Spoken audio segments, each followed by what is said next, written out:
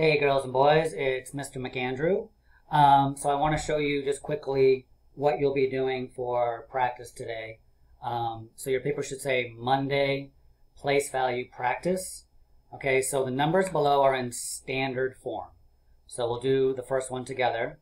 Okay, so that says 76,059.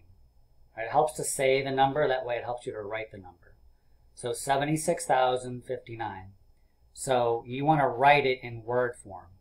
And it says you may use the words that are spelled out for you in the Google Slides. So in your Google Slides, you might notice that on the next slide, on the one after the one that you were on here, um, it looks like, let me get out of the way here, looks like this, okay?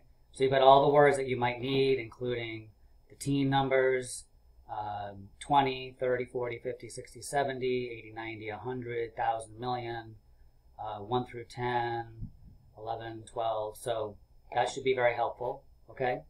Um, so, yeah, so what you'll do is, so I'll, I'll do the first one with you. Um, so it says 76,059. So I would write 70,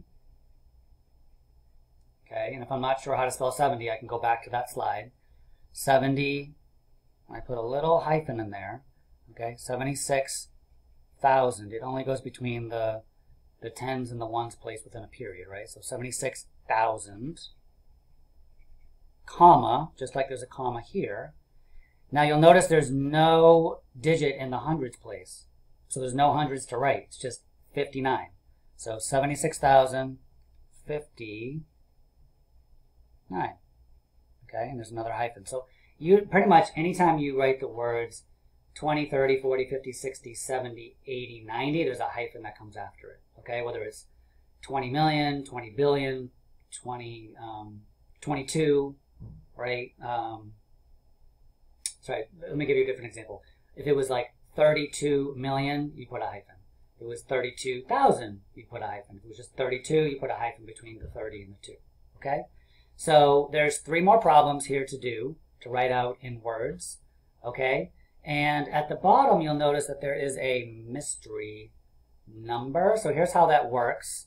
I'm actually going to um, not do that one, so you can do it, but I'm going to show you a different one. Okay, so this is just a practice one. You don't have to do this. I'm just, I'm going to do it to show you how it works.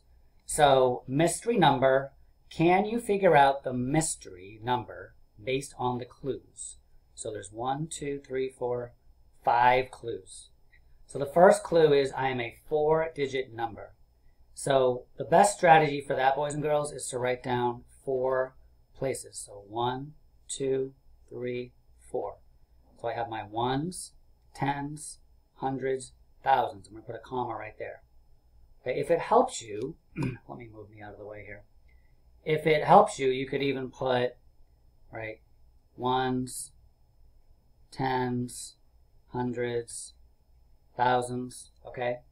So then I go to my next clue, which is the digit in the tens place is 5. So here's my tens place. I'm going to put a 5. So I've done that, those two clues. The next clue says the value of the hundreds place is 200. Now I'm not going to write 200 there. It just means the value is 200. So what um, digit, right, what digit should I, move that out of the way, should I write there? I should write a 2 because the value of that 2, since it's in the hundreds place, is 200. Okay, so I did that one. The ones place has no value, it says. So that would be 0. And my last clue, the digit in my thousands place is 2 greater than 6. So what is 2 greater than 6? 8.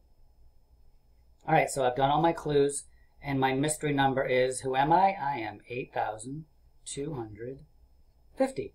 Okay? So on your paper, every day this week, there'll be a mystery number.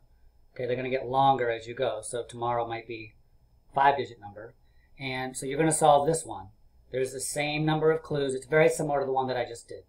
And then when you figure it out, you want to write down the number that you got to.